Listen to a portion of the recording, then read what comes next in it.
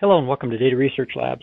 For this tutorial, we're going to discuss how to generate a data dictionary from an existing schema using a script in MySQL.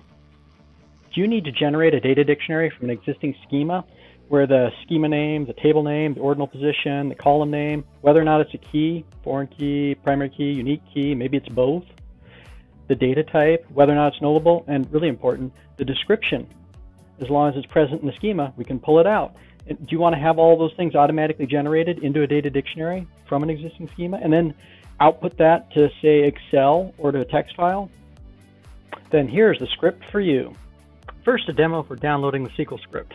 Open your favorite browser and go to github.com slash all one word data research labs just like that github.com slash data research labs hit enter and you're going to want to browse until you see the SQL scripts project and it may be at the top it may be down a ways. Just go find it or you can sort to find it.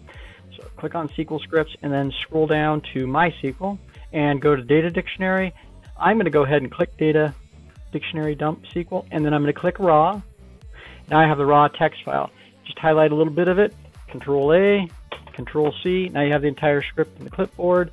You can bring up notepad paste it in, save it, and off you go. Next, a demo for how to generate the data dictionary table. So I'm going to open up MySQL Workbench, and I have a test data set downloaded off the internet, Sakila.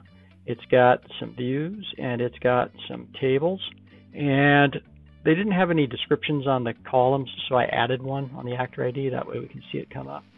So that is our test data set. Now I'm going to go grab the data dictionary dump SQL script that we pulled down from GitHub in the last demo. Here it is. And once the script is up, the only thing I really need to change is right here, the schema name, but it's already correct, set to the one I want it to be set to. And that schema name gets pulled down through here so you don't change it. But this yes, no value, I could set it to yes, limit it to tables only, hide the views, but I want it to be no. I want to show the views as well and all the column definitions and metadata on the views. That's it.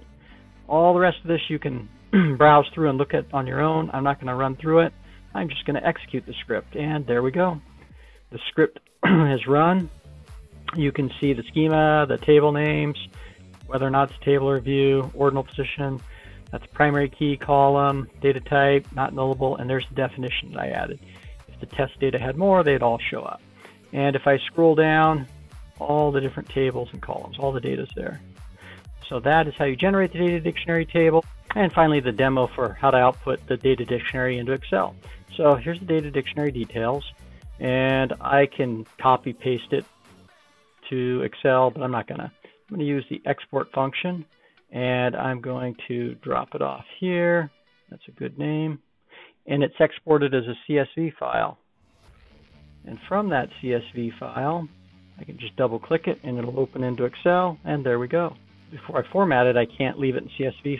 I have to save it and save it as an Excel file. There we go, Excel workbook in the same folder. And save that. Now the formatting can be saved, and it's an XLSX.